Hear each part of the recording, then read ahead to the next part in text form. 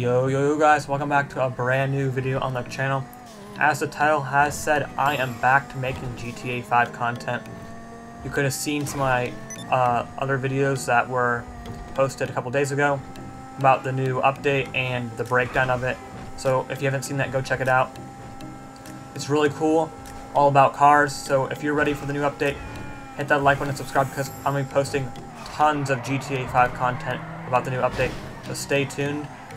Um, Sea of Thieves is not going to go anywhere. It will probably be delayed. I have some plans for some videos, but they're going to take some time because I had to do some stuff for them.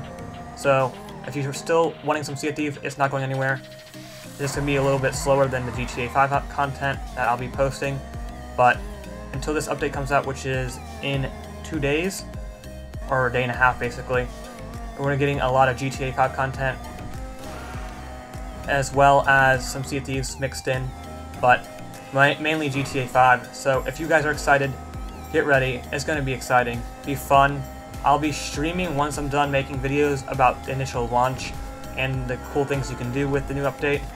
So you can check the description down below for the new update uh, to be played on my Twitch. It is the same as my YouTube, Truzuo. So come say what's up. But until next time, guys, peace.